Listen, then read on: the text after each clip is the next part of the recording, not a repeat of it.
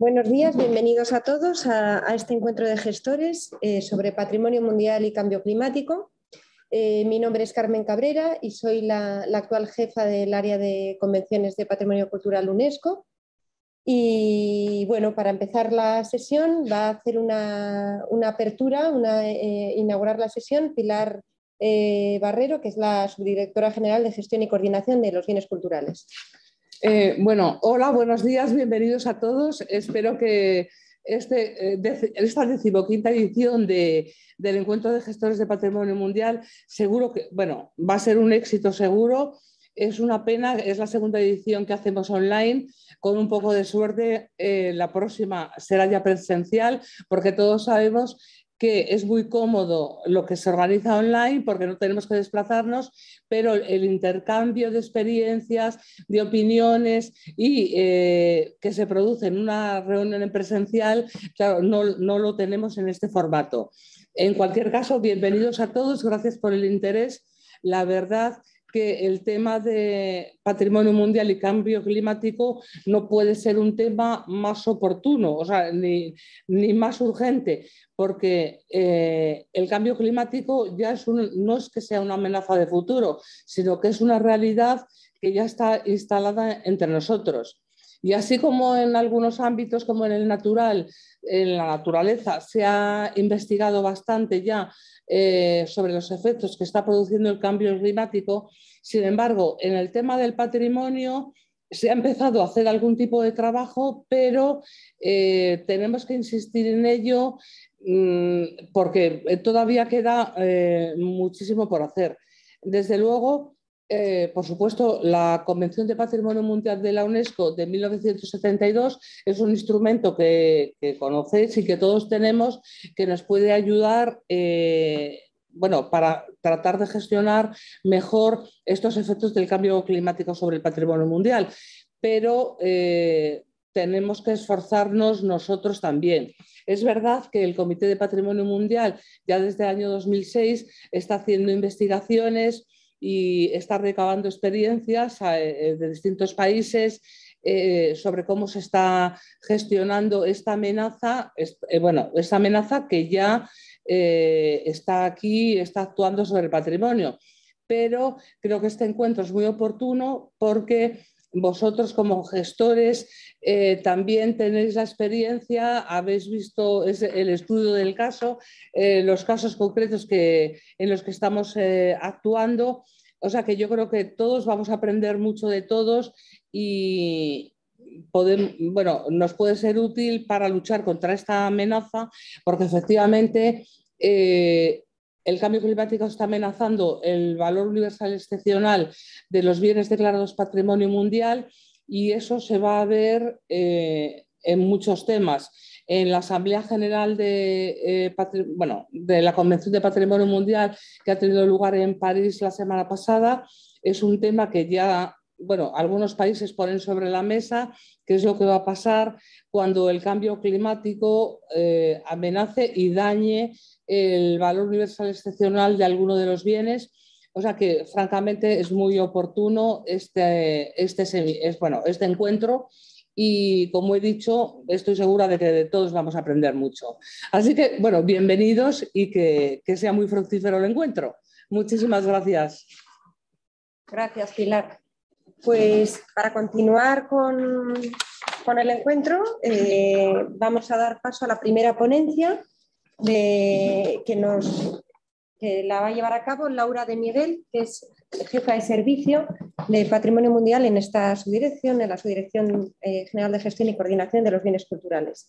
Su ponencia es eh, una ponencia marco sobre el cambio climático y un conocimiento actualizado de las políticas. Ay, no, perdón. Sí, sí, sí. Sobre el patrimonio mundial a los gestores. Información sobre patrimonio mundial en relación con el comité, con el comité de Patrimonio Mundial que tuvo lugar este, este verano. Muy buenos días a todos, pues eh, encantados de estar aquí un, año más, aunque sea de manera telemática, como ha comentado la subdirectora, pero eh, contentos de poder seguir manteniendo el, contacto eh, sin dejar de, hablar de los temas de, patrimonio mundial. Eh, antes de empezar, eh, quería comentar algunas cuestiones de tipo técnico para el encuentro. en la parte de abajo, en la barra de herramientas de la, página, tenéis una opción para oír, en, vamos a tener una versión traducida. Uno de los ponentes, el el profesor eh, Rohit Giyasu eh, hablará en inglés, pero podéis seleccionar la opción en español. En la barra de herramientas tenéis un pequeño icono, es una especie, una pequeña bola del mundo y ahí podéis escuchar la ponencia eh, o bien en inglés o bien en, español o podéis también tener la opción de desactivar para oír a todos los ponentes en versión original. Eh, la segunda cuestión de tipo técnico es eh, referente a la cuestión de eh, la interacción entre, por vuestra parte, de preguntas y respuestas. Va a haber dos maneras de plantear vuestras preguntas. una es a través, a través de la opción que tenéis abajo también un apartado en el que pone preguntas y respuestas. Ahí podéis mandar vuestras preguntas por escrito y eh, los ponentes que lo deseen pueden contestar eh, directamente ahí y esa pregunta será visible para todos los participantes. O bien, eh, si queréis también, durante los espacios reservados para preguntas y respuestas, después de, mm, de, las intervenciones en las que están previstos esos espacios, podéis levantar la mano y podremos ir dando paso aquellos que lo soliciten, que estarán con cámara y con sonido. En función del tiempo de que dispongamos, pues podremos dar paso a unos eh, o a otros. Em, esas van a ser las dos maneras que tenéis de, plantear eh, vuestras, preguntas y de, poder mantener un, mínimo eh, diálogo con los ponentes. Bien, ¿podemos lanzar la presentación, por favor?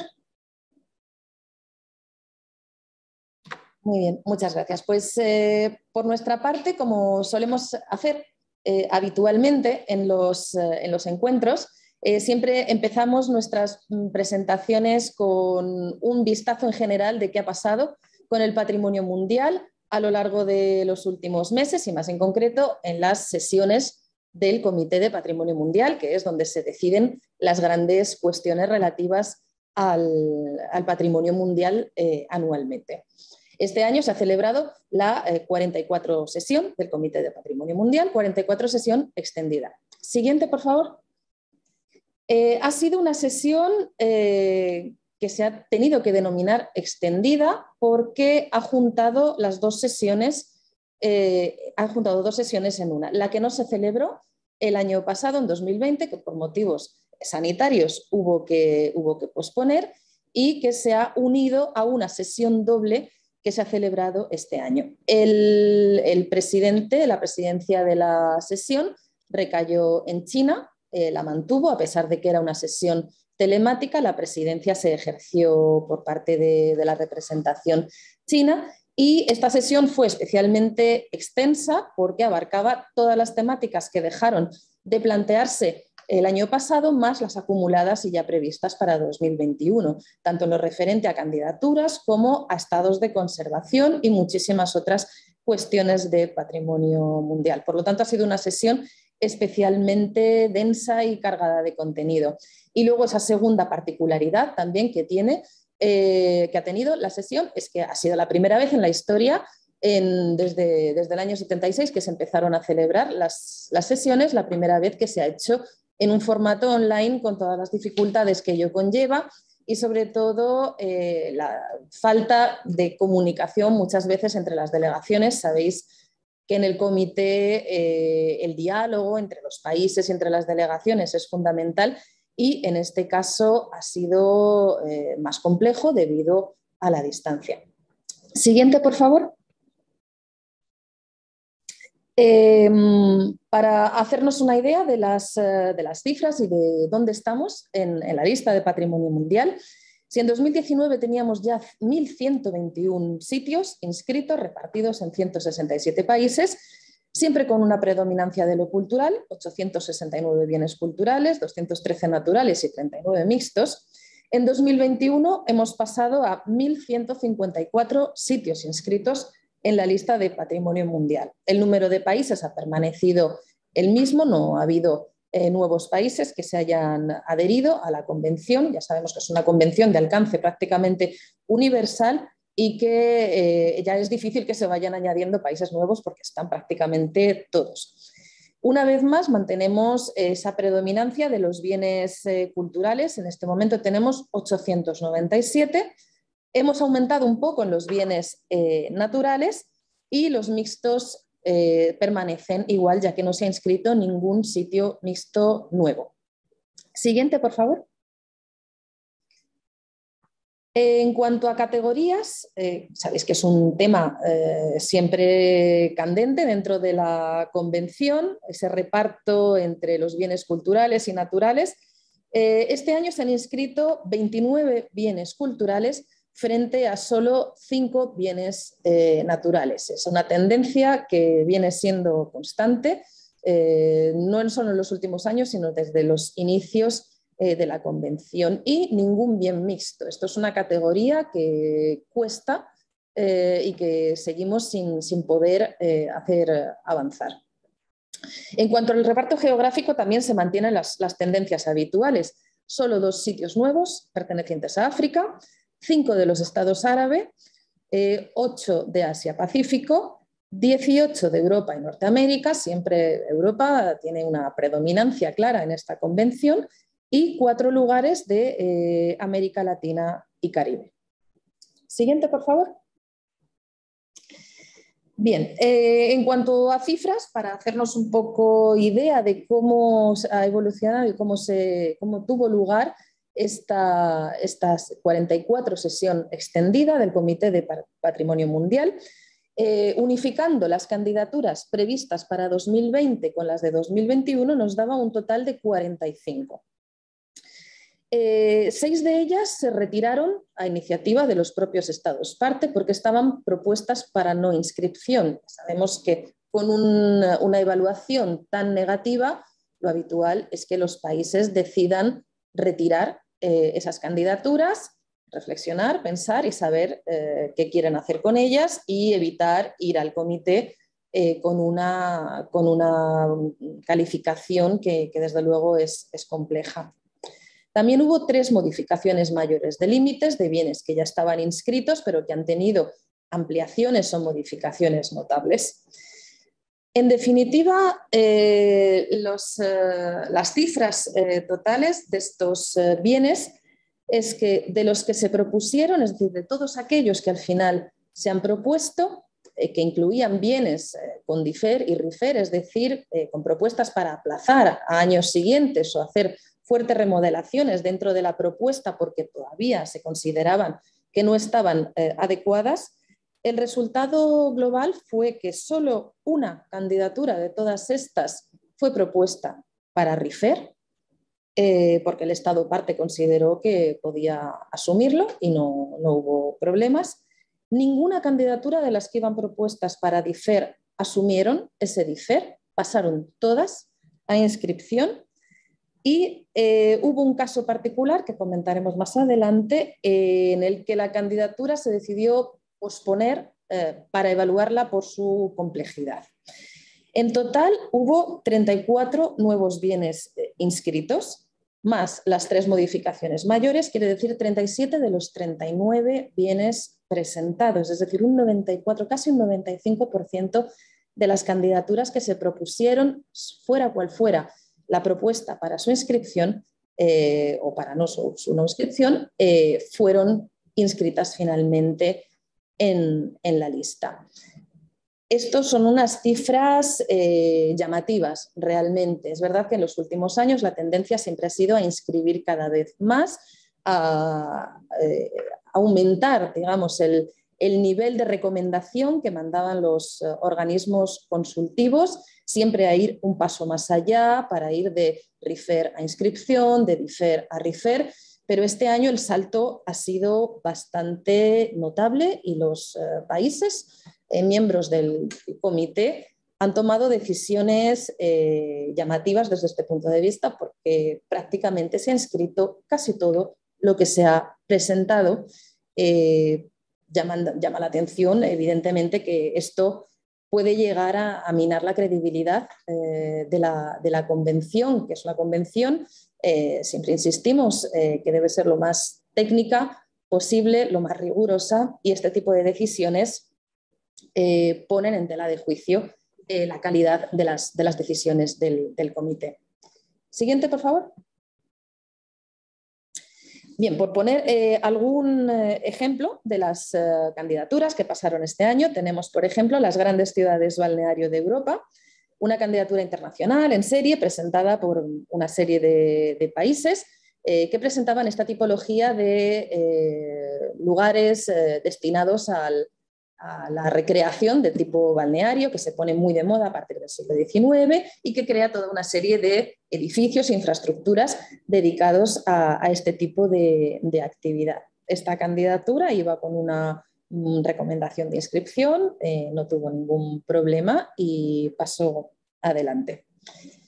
Otra de las candidaturas que se presentó fue el paisaje de Rosia Montana, eh, presentado por Rumanía, una candidatura compleja que ya se había retirado en años anteriores, aunque iba propuesta para inscripción. Se trata de una eh, mina de época romana eh, realmente muy interesante y con muchos valores, eh, pero que presentaba un problema y es que esa mina todavía sigue en explotación. Por lo tanto, el gobierno rumano tuvo que tomar la decisión frente a la protección del patrimonio o continuar con esa explotación que tiene evidentemente beneficios económicos.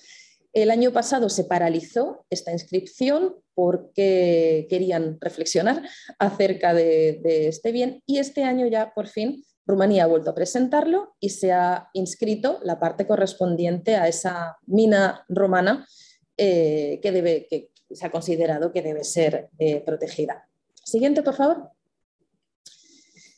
Eh, a continuación tenemos también otro bien complejo que creó también muchas, muchas dudas en el seno del comité, como fueron las fronteras del Imperio Romano. Esta es una candidatura compleja, eh, es una candidatura no solo en serie, sino que además se ha ido inscribiendo en diferentes etapas las fronteras del Imperio Romano son extensísimas y se decidió como estrategia ir inscribiéndolas por sectores.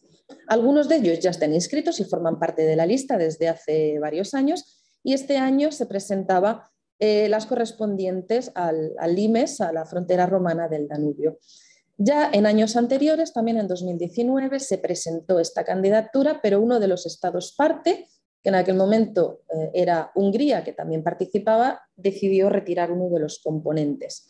Al retirar un componente, cambia toda la lectura del bien y es necesario volver eh, a plantearlo. Y en aquel momento se decidió retirar eh, la propuesta, hablar con Hungría y ver por qué se había tomado esa decisión por parte de Hungría y volver a presentarla en la sesión posterior. En este año, Hungría, cuando iba los cuatro países, Austria, Alemania, Eslovaquia y Hungría, iban dispuestos a presentarla de nuevo, Hungría también volvió a decidir unilateralmente que retiraba no solo un componente, sino todos los componentes de su territorio. Ante lo cual, eh, ICOMOS planteó que no era posible dar una opinión acerca de la idoneidad de inscribir o no el sitio, dado que eh, al retirar tal, cantidad de, bienes, eh, era imposible saber si se mantenía ese valor universal excepcional por el que se había presentado. Eh, obviamente los demás países se sintieron agraviados y quisieron seguir adelante, propusieron la candidatura, esta vez no quisieron retirarla y aunque no había un informe oficial de ICOMOS ante esta nueva candidatura sin todos los componentes, se fue adelante y finalmente el bien fue inscrito. Otra de las propuestas fue eh, muy diferente, en, otra, en, otra, región completamente distinta, fueron los yacimientos prehistóricos Homon en, Japón, que presentaba un bien eh, de tipo arqueológico. Es un bien que presenta una cultura, eh, una cultura peculiar eh, a nivel incluso eh, global, ya que es una cultura que está a caballo entre las formas de vida paleolíticas y neolíticas y que presenta una serie de particularidades.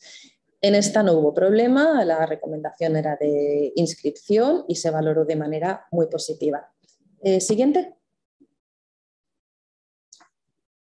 Eh, otra de las candidaturas complejas también y que crearon muchas dudas eh, fue el complejo forestal de Kaeng Krachan en Tailandia. Las dudas no tanto por los valores del bien, sino por las circunstancias que lo rodeaban. Esta candidatura eh, era la cuarta vez que se presentaba ante el comité, ya que en las ocasiones anteriores había sufrido muchas modificaciones. El propio Estado parte por conflictos territoriales con, el país limítrofe habían modificado sobre la marcha los límites del bien. Por lo tanto, eh, las evaluaciones que se habían hecho ya no eran válidas, hubo que retirarlo, hubo que volver a presentarlo. Digamos que es una candidatura muy compleja y con una historia detrás eh, complicada por las múltiples modificaciones que ha sufrido a lo largo del tiempo. Y a ello se añade además una cuestión de eh, respecto de los derechos de las minorías étnicas que viven en este conjunto forestal y sobre los que la ONU planteaba eh, serias dudas de que se estuvieran respetando mm, todos sus derechos. Eh, evidentemente, esta era una cuestión a tener en cuenta, que se sumaba a todas las cuestiones de tipo técnico anteriores y que creó bastante polémica. aún así, los países del comité siguieron adelante y a pesar de los múltiples informes negativos por parte de, diversas, no solo los organismos consultivos, sino la propia ONU, se decidió seguir adelante e inscribir finalmente el sitio. Un caso muy distinto es el siguiente, son los yacimientos de momificación artificial de la cultura chinchorro en eh, Chile esta candidatura pues, eh, fue también sin ningún, esta no, tuvo ningún problema. Era una candidatura muy interesante sobre los procesos de momificación más antiguos documentados eh, en el mundo. Eh, se remontan a, épocas antiquísimas y, y, se presentan una serie de yacimientos arqueológicos que recogen estos lugares y que desde luego son muy interesantes desde el punto de vista histórico y arqueológico. Siguiente, por favor. El siguiente bien es, eh, son eh, los astilleros de Gdansk que presentó Polonia.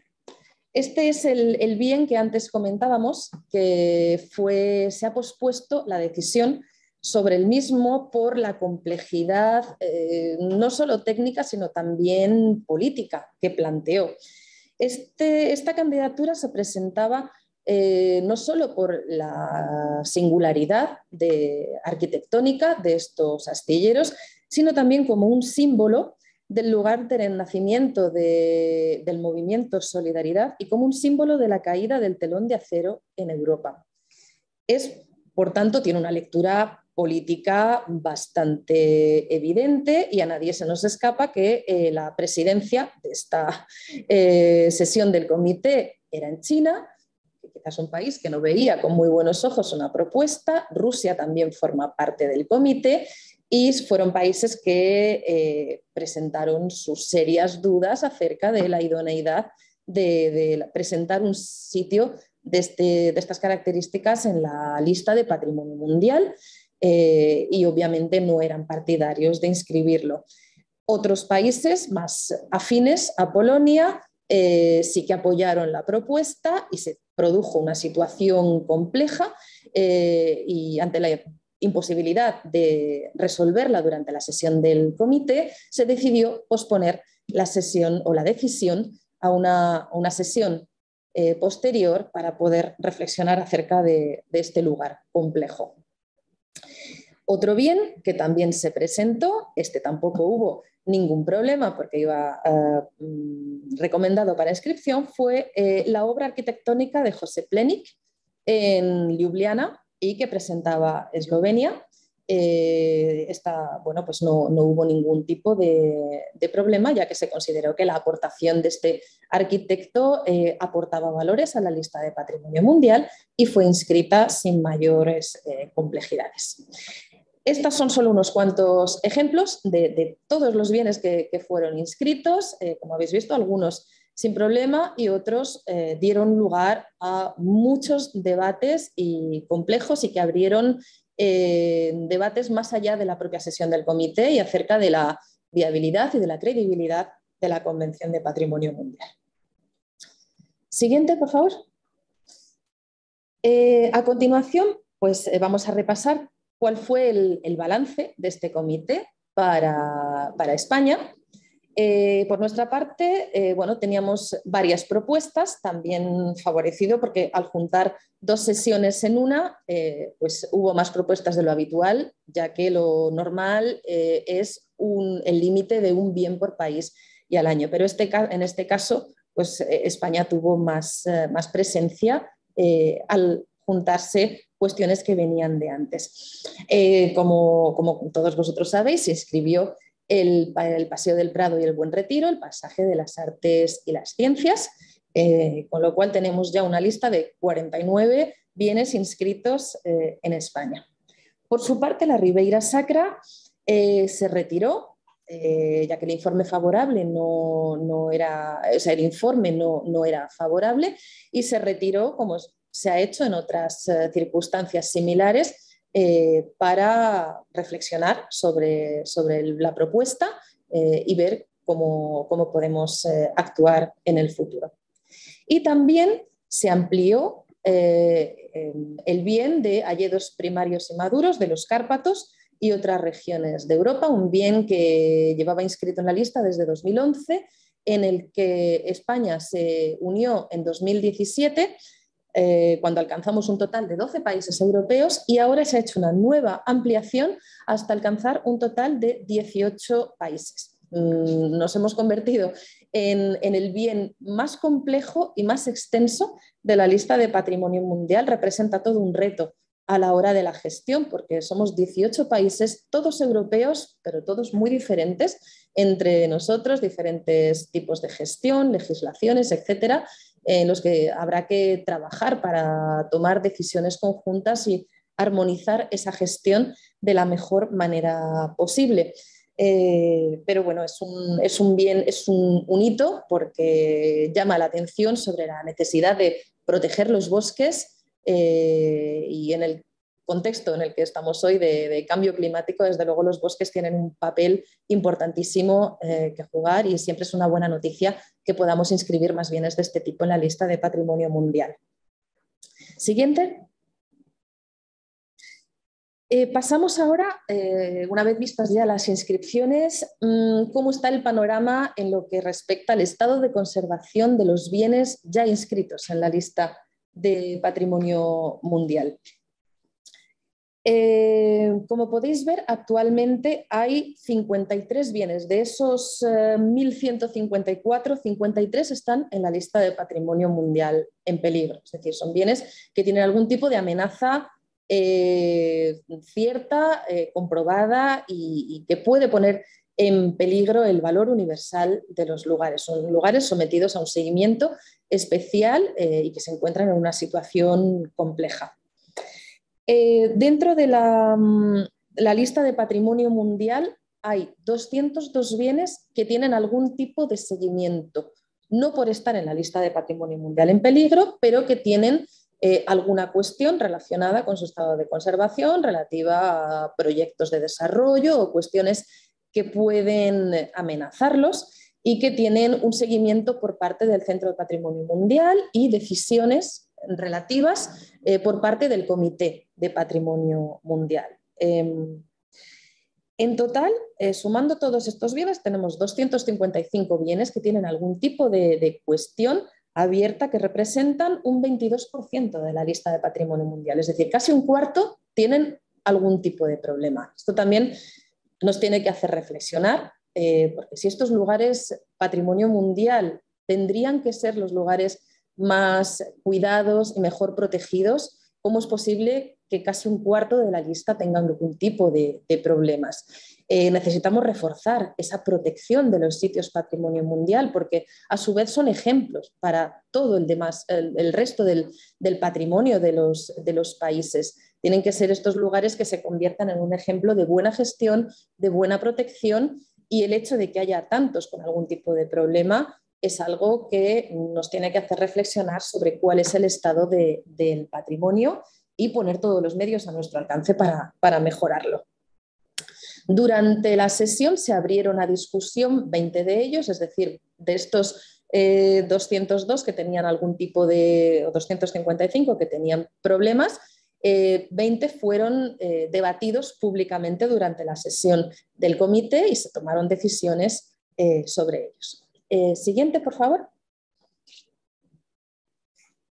Em, en cuanto a los, aquellos bienes mm, que tienen un estado de conservación más preocupante, se propuso que dos de estos bienes salieran de la lista de patrimonio mundial porque eh, se consideraba que tienen amenazas, tan, no ya amenazas, sino cuestiones que han incidido de manera tan negativa en su estado de conservación que han perdido ya ese valor universal excepcional y por tanto no pueden ser mantenidos en la lista. Uno era la reserva de caza de Selous en Tanzania y otro fue el puerto eh, marítimo mercantil de Liverpool en Gran Bretaña.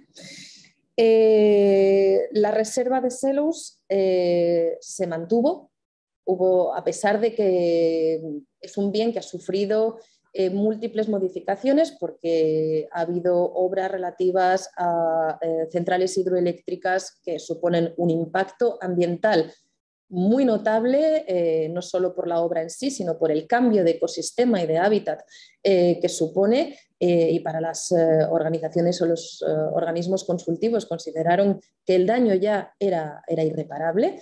Em, el comité decidió no sacarlo de la lista por ahora. El otro caso, el de Liverpool, fue distinto porque finalmente sí que se decidió que el bien abandonará la lista, convirtiéndose en el tercer bien que sale de la lista de patrimonio mundial. Fue también una decisión compleja. Eh, en un principio los países parecían un poco reacios a tomar una decisión que, siempre es eh, compleja, eh, pero en un determinado momento se decidió, a instancia de uno de los países miembros del comité, proceder a una votación secreta y esa votación decidió que eh, el puerto de Liverpool había sufrido daños tan irreversibles y modificaciones urbanísticas que, ya no podía ser mantenido en la lista de patrimonio mundial. Obviamente no es una decisión que se tomara de un día para otro. Ha habido ya muchas sesiones previas en el comité en el que se ha instado a Reino Unido a paralizar esos proyectos de remodelación eh, se han mm, dado todos los toques de atención posibles, pero en el caso de Liverpool el ayuntamiento ha optado por, ese desarrollo urbanístico y económico eh, y ello ha tenido como consecuencia que, eso ha sido incompatible con los valores del patrimonio mundial y por tanto eh, se decidió retirarlo de la lista. Por otra parte, eh, también se propuso eh, de los bienes, de esos 53 bienes que están en la lista de patrimonio, eh, perdón, de los bienes no incluidos en la lista de patrimonio mundial en peligro, se propuso que siete entraran a formar parte de la lista en peligro. sin embargo, ninguno de ellos llegó a entrar, siempre se pospuso la decisión en todos casos, se dio otra oportunidad eh, a los países y al final ninguno de ellos llegó a entrar en la lista Patrimonio Mundial en peligro. Eh, siguiente, por favor. Algunos de ellos, los más complejos, eh, pues fueron, por una parte, la Gran Barrera de Coral de Australia, un bien que está en seguimiento desde hace tiempo. la Gran Barrera es un ecosistema frágil, es complejo, eh, y eh, evidentemente los, eh, los efectos del, del, cambio climático y del calentamiento global están teniendo un impacto muy negativo sobre, sobre la gran barrera que está perdiendo rápidamente su biodiversidad. por ello se proponía su inclusión en la lista de patrimonio mundial en peligro, porque esos daños estaban ya ahí. No obstante, Australia ejerció una presión considerable para evitar esta, esta decisión y se abrió el debate de hasta qué punto es cuando un país no es plenamente responsable o de los daños que sufre su bien, se puede incluir un bien en la lista en peligro o no, cuando es algo que excede los medios de un país con una cuestión como es, por ejemplo, el cambio eh, climático. Otros países sí que eran de la opinión que la lista en peligro indica que hay un peligro en, el bien, independientemente de quién sea la responsabilidad. Y todo esto ha abierto una serie de discusiones y de debates eh, complejos eh, durante las sesiones del comité, la Asamblea General, etc. Otro de los bienes paradigmáticos también que llevan eh, mucho tiempo siendo propuestos para entrar en la lista en peligro y sobre los que hay debate fueron, fue Venecia, por ejemplo. Venecia es un bien también increíblemente frágil, con unas presiones turísticas que todos conocemos y que, mm, bueno, pues eh, también el comité decidió que eh, era mejor eh, posponer la decisión. Y abajo también pues veis una recreación de la, propuesta de Liverpool y de lo que ello conlleva como, como afección al patrimonio mundial. Siguiente, por favor.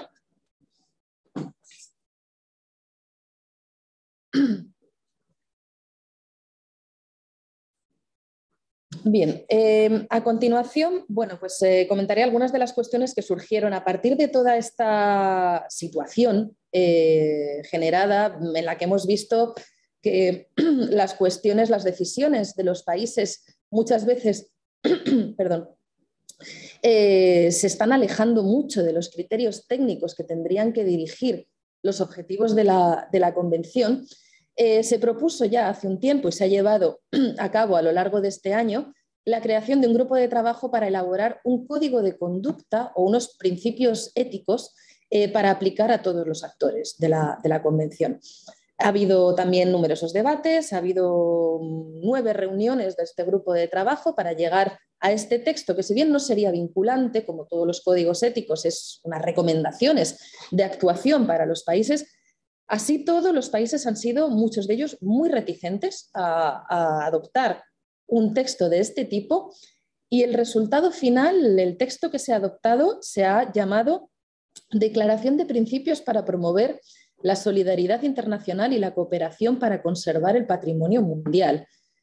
Algo que ya desde el título eh, nos indica que nos hemos alejado bastante desde el objetivo principal que se, que se quería perseguir perdón, eh, con este texto eh, y que al final ha quedado diluido en algo bastante menos eh, coercitivo para, para los países.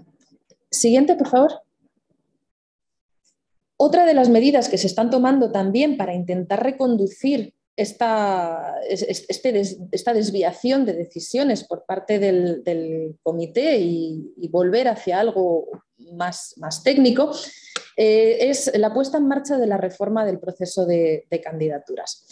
Eh, ¿Por qué se requiere una, reforma de este proceso? Pues precisamente por el desvío entre las cuestiones técnicas y las cuestiones y las decisiones finales de los estados parte que llevan a inscribir bienes que en ocasiones no han demostrado su valor universal excepcional. Eh, durante bastante tiempo se han, en diferentes foros se han propuesto Em, diferentes medidas precisamente para evitar este tipo de, decisiones. Se han hecho estudios para ver cuáles podían ser los motivos de esta desviación en las decisiones de los estados parte y para ello se ha consultado precisamente con todos los países pidiendo la opinión de por qué se piensa que se ha llegado a esta situación. Y de todo ello se dedujo que era necesario incluir eh, una, evaluación preliminar. Antes de llegar al punto en el que los países presentan un expediente de candidatura completo, que requiere un gran esfuerzo eh, técnico, de recursos humanos y económico, eh, se consideró adecuado hacer una presentación de un resumen o de, de un expediente en su versión más reducida en el que se presenten cuáles son los valores de ese bien. Se evalúa ese núcleo de, la candidatura y si resulta positivo, entonces ya en una segunda fase se podría proceder a una candidatura completa. Eh, siguiente, por favor. Por lo tanto, ahora el proceso de candidaturas va a ser más largo, más complejo eh, y con ello se pretenderá tener decisiones más sólidas a la hora de tomar decisiones. Esa primera fase se llamará eh, evaluación preliminar y después una segunda fase que correspondería al eh, procedimiento actual de eh, candidaturas de patrimonio mundial. Este proceso se pondrá en marcha de manera gradual a partir de febrero del año 23 y hasta el año 27 se irá introduciendo este, esta nueva manera de presentar eh, candidaturas. Em, siguiente. Eh, todo ello va a conllevar, evidentemente, cambios en las directrices operativas, en los textos de, aplicación de la, convención, pero eh, se entiende que aunque va a ser más complejo, va a aportar beneficios como es un mayor diálogo entre los Estados parte y los organismos, consultivos que eh, ayudarán a tomar mejores decisiones y a solventar problemas en un estadio incipiente de la candidatura, lo cual evitará problemas posteriores. Y si conseguimos candidaturas de mejor calidad, conseguiremos también decisiones de mejor calidad por parte del, comité y todo ello redundará en una mayor credibilidad de la lista de patrimonio mundial. Eh, siguiente. Em, bien, eh, como decíamos, todo esto afectará a las directrices prácticas, que es eh, nuestro texto de cabecera para aplicar la Convención de Patrimonio Mundial y tenemos una buena noticia y es que la versión más actual, la de 2019, ha sido traducida al español. Era un déficit que teníamos desde hace tiempo, siempre teníamos que recurrir a las directrices en inglés o en francés. Ahora se ha procedido a una, traducción al, castellano eh, que está accesible para todos en la página del Centro de Patrimonio Mundial. Siguiente. Bien, otras de las cuestiones ya eh, relativas al patrimonio mundial de manera más amplia eh, son diversos estudios temáticos que se están llevando a cabo en, los últimos años eh, con una visión global y de cuestiones que afectan a todos los bienes patrimonio mundial. Uno de ellos fue, por supuesto, este, a lo largo de este último año, el impacto de la pandemia de COVID-19 en los lugares patrimonio mundial. Eh, el impacto más inmediato es que un porcentaje muy alto, cerca del 80% de sitios patrimonio mundial, eh, fueron cerrados eh, durante la pandemia o redujeron drásticamente su número de visitantes. Todo esto tuvo influencias eh, a nivel económico y a muchos otros niveles en los sitios patrimonio mundial. Em, en todos ellos, a lo largo de todo este tiempo, se han ido tomando medidas, se han ido intentando retomar la normalidad, algunos sitios han vuelto a abrir al público, pero evidentemente todo esto ha tenido un impacto clarísimo sobre el patrimonio.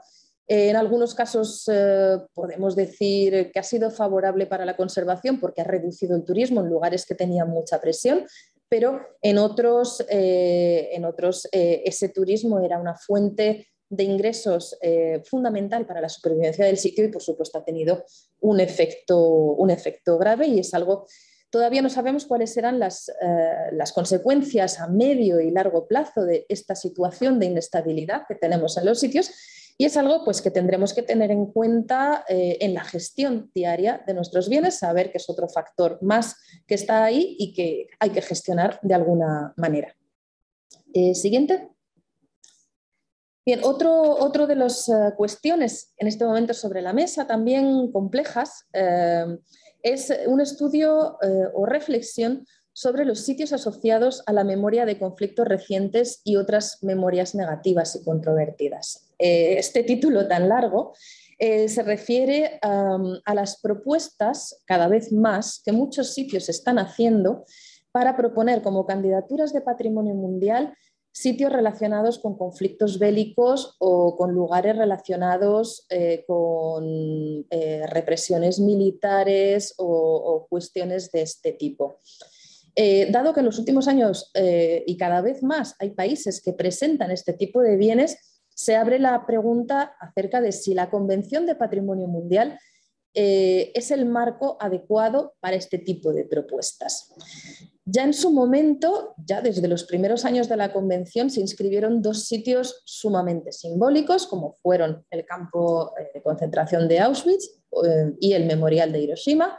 Y en aquel momento ya se dijo que esos lugares tendrían que servir para todos aquellos lugares similares como símbolo de aquello que no se puede volver a repetir.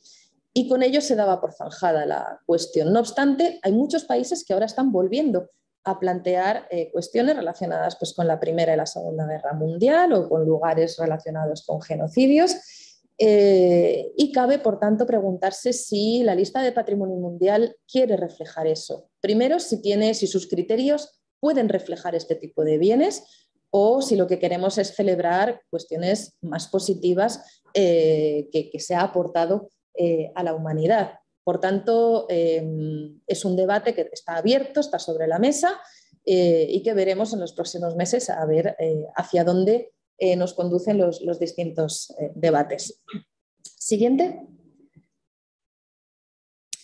Y otro de los estudios temáticos, por supuesto, pues es el que hoy nos ocupa aquí en este encuentro de gestores, que es eh, la actualización del documento sobre patrimonio mundial y cambio climático, y sobre el que no me voy a extender, porque para eso tenemos hoy la suerte de contar con uno de los autores de este texto, que es el profesor eh, Rohit Yatsu, que ha sido quien, eh, quien ha, participado y que nos va eh, a explicar, eh, tenemos la suerte de, contar con él para que en primera persona nos, nos, explique y nos dé a conocer este texto. Siguiente. Bien, en los últimos días ha tenido lugar la Asamblea General de los Estados parte. Asamblea General es esta reunión se produce cada dos años y en la que se reúnen todos los países eh, miembros de la, Convención, no solo los 21 miembros del comité, sino los 167 países eh, firmantes, 196 si no recuerdo mal, eh, y donde se toman también decisiones de calado, muchas ellas relativas a las cuestiones que acabamos de ver. En esta Asamblea General, España ha dejado ser miembro del comité, hemos sido miembros en los últimos cuatro años y en este momento ya pues, finalizaba eh, nuestro mandato. Y ha tenido lugar también la, de, renovación de 12 eh, miembros eh, del comité, 12 países que hemos dejado de ser miembros y se han incorporado 12 nuevos. Y también, bueno, pues se ha tomado la decisión, o ya se tomó durante el comité, que la próxima sesión del comité, la 45, tendrá lugar en, Kazán, en Rusia. Eh, si la situación eh, pandémica lo permite, que esperemos que, sea así, y por tanto Rusia será el presidente o tendrá la presidencia de la próxima sesión del comité. Eh, siguiente. Bien, también este comité ha sido el último de la directora del Centro de Patrimonio Mundial, eh, Rosler. Es una persona que posiblemente muchos de vosotros o habéis tenido contacto o conocéis porque llevaba trabajando en el Centro de Patrimonio Mundial desde que fue creado en el año 92. Eh, eh, ha ocupado diversos cargos, eh, fue jefa del área de Europa, después subdirectora directora adjunta y por último, en los últimos años, directora, una persona con muchísima experiencia que conocía como nadie el Centro de Patrimonio Mundial, eh, pero que este año ya pues se, ha, jubilado, ha sido eh, su última sesión y desde luego ha, hecho una, labor encomiable en todo este tiempo y ha dejado una huella eh, muy grande en el Centro de Patrimonio Mundial. De momento no hay nuevo director del Centro de Patrimonio Mundial y en los próximos meses suponemos pues, que habrá una nueva designación y sabremos quién estará al, cargo del centro. Siguiente. Bien, eh, por parte a nivel interno, eh, en nuestro panorama nacional también tenemos una serie de candidaturas eh, en lista de espera, digamos, las previstas para los próximos años. La más inmediata, ya prevista su eh, presentación en la próxima sesión del comité en verano de 2022, en la sesión de Kazán, será eh, Menorca Talayótica, eh, una candidatura que ya ha pasado prácticamente todos los, filtros y que estaremos ya solo a la espera de la decisión final del organismo evaluador de ICOMOS, que tendremos aproximadamente en el mes de mayo y que bueno, pues esperamos, eh, esperemos que sea todo lo favorable posible. La siguiente candidatura prevista para la sesión del año 2023 será la que se presenta como los paisajes del olivar en Andalucía. Eh, un paisaje cultural muy extenso y complejo y también que está empezando ahora su, bueno, lleva ya una trayectoria, pero ahora presentará su candidatura en firme. Y por último, otra candidatura, eh, esta vez de ámbito internacional, ya que se presenta eh, a instancias de Andorra, pero en la que participamos también Francia y España, y que se, ha titulado Los testimonios materiales de la construcción del Estado de los Pirineos, el coprincipado de Andorra. Es una candidatura que ilustra el nacimiento de este Estado eh, peculiar dentro de Europa, eh, de orígenes medievales, que mantiene un sistema político de raíces muy antiguas en el que participan tres países de una manera un poco singular y que bueno, en este momento está en preparación, todavía no tenemos fecha exacta para su presentación. Eh, siguiente. Bien, en cuanto al estado de conservación, también a nivel interno, queríamos también llamar la atención sobre la aplicación de, diversos artículos de, las directrices prácticas. Muchos de ellos ya, ya, los conocéis porque os ha tocado aplicarlos en, vuestros informes de estado de conservación de los sitios. Uno es el artículo 172, que ya muchos conocemos, que es esa obligatoriedad de informar previamente al Centro de Patrimonio Mundial cuando se va a llevar a cabo una obra de envergadura eh, y que debe ser evaluado. Y queríamos llamar la atención también sobre la aplicación del artículo 118 bis, que es el relativo a la necesidad de hacer evaluaciones de impacto cultural. Cada vez más, y sobre todo a lo largo ya del último año, casi todas las cartas que nos llegan desde el Centro de Patrimonio Mundial hacen referencia a estos dos artículos, el 172 y el 118 bis, porque se nos pide que no solo hay que avisar de esas obras que están previstas, sino que además tienen que ir ya acompañadas de una evaluación de impacto patrimonial. La evaluación de impacto patrimonial también es una figura eh, que aún está por desarrollar en gran parte. Eh, muchas veces van las, estas evaluaciones de impacto cultural van introducidas dentro de las evaluaciones de impacto eh, en sentido más amplio, las evaluaciones de impacto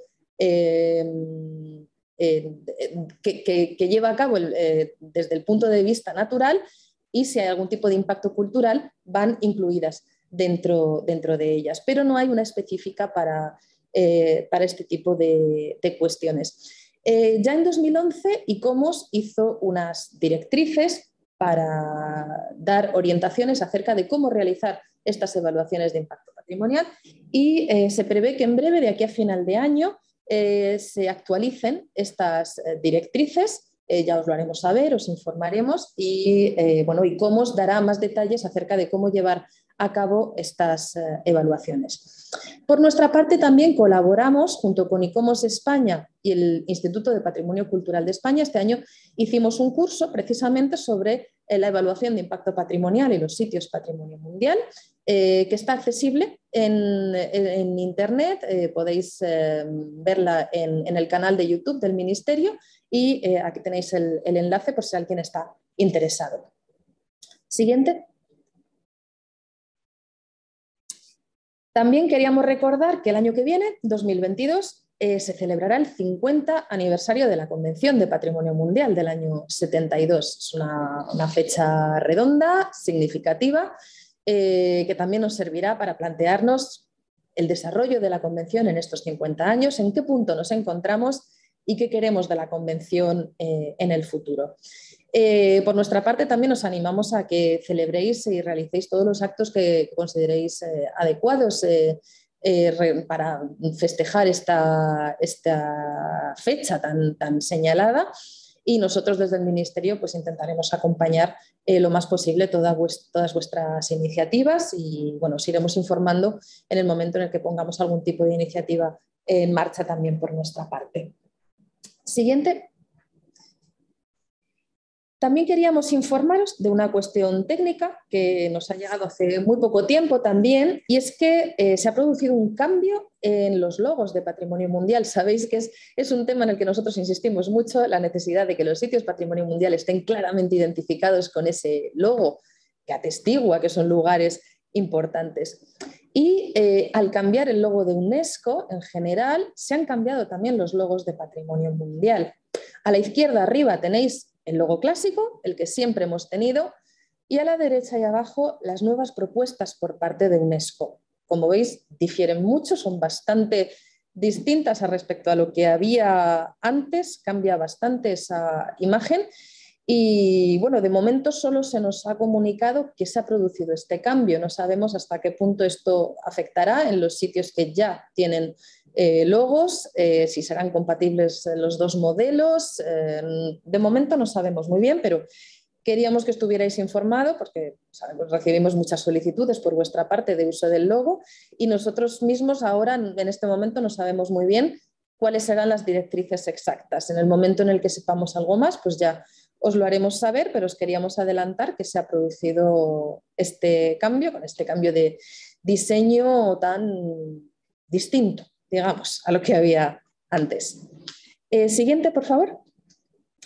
Eh, también os queríamos eh, informar acerca del tercer ciclo de informes periódicos previsto para el año que viene. Sabemos que es un tema en el que estáis también del que estáis pendientes y bueno, de momento no hay prisa. Se lanzará en el próximo Comité de Patrimonio Mundial, es decir, en verano del año que viene y os iremos informando con la debida antelación y debido tiempo. No os preocupéis por eso, que habrá tiempo suficiente eh, para coordinar y para hacer los, eh, eh, los informes con toda la calma y con toda la información necesaria que os iremos proporcionando desde aquí. siguiente. Eh, también queríamos informaros que está previsto que para el año que viene eh, sigamos con nuestra línea habitual de ayudas para sitios declarados Patrimonio Mundial. La propuesta que hay en este momento en los presupuestos generales del Estado es que se aumente de 470.000 euros que hay ahora a 600.000, lo cual es una buena noticia para todos y esperamos que se pueda mantener esa cifra eh, también os informaremos en el momento en el que lancemos las ayudas. Intentaremos que sea cuanto antes o lo que eh, los plazos administrativos nos permitan. Y eh, siguiente. Y por último, también os queríamos informar que estamos trabajando junto con Portugal, con nuestros colegas portugueses, en la celebración del séptimo del octavo encuentro ibérico de gestores de patrimonio mundial, que se tenía que haber celebrado en el año 21, pero dada la situación, eh, hemos considerado mejor posponerlo a posiblemente el primer trimestre del año 22. Eh, Aranjuez nos ha dicho que podrá acoger el, evento y también bueno, os iremos eh, informando a su debido tiempo de, las modalidades y, de toda la información relativa al encuentro y si la situación sanitaria lo permite, pues podremos hacer un encuentro presencial, que es algo que creo que todos tenemos eh, ganas de volver a, retomar. Eh, siguiente. Y ya por mi parte es todo. Eh, todas estas novedades acerca del patrimonio mundial, un poco más densas este año porque había que resumir dos años en uno. Y bueno, pues por mi parte esto es todo. Muchas gracias. Bueno, Laura, muchísimas gracias. Eh, yo creo que has hecho una intervención muy, muy interesante, eh, un repaso muy completo por lo que ha supuesto la, 44 sesión del comité, que como bien has dicho ha sido una, sesión un poco atípica, tanto por el formato online como por algunas decisiones que se han tomado, quizás un poco controvertidas, debates que han quedado abiertos. Y aquí en el, en el eh, en el día de hoy nos, ocupa concretamente el de cambio climático. Posiblemente el caso más paradigmático haya sido la, decisión de no inscripción en la lista de Patrimonio Mundial en Peligro de la Gran Barrera de Coral de Australia y ese debate acerca de hasta dónde llega la responsabilidad de un Estado parte en la gestión de un bien patrimonio mundial amenazado por, el cambio climático, si excede o no a su ámbito de actuación. También hemos visto que es uno de los estudios temáticos que se han tratado en el comité, el del cambio climático. Y bueno, y también ha sido muy interesante que recordaras todas las demás, eh, las demás referencias a la Asamblea General, al próximo 50 aniversario de la Convención, eh, la evaluación de impacto patrimonial, que ahora mismo estamos trabajando en ella y que hemos tenido un curso en el mayo pasado. Yo creo que es muy útil para todos los gestores eh, aplicarla y que esto llegue a incorporarse a las directrices operativas de la Convención bueno, en fin, que ha sido más completa imposible y, te agradecemos muchísimo que hayas abierto el, encuentro con, toda esta información que probablemente se, tratará se, y se hablará de ella en la mesa redonda.